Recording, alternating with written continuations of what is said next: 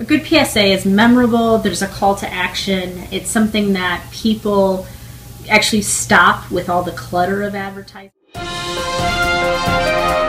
need to be part of the solution. This is about respect, it's about responsibility. It's up to all of us to put an end to sexual assault. And that starts with you. Because one is too many. This is your brain. This is drugs.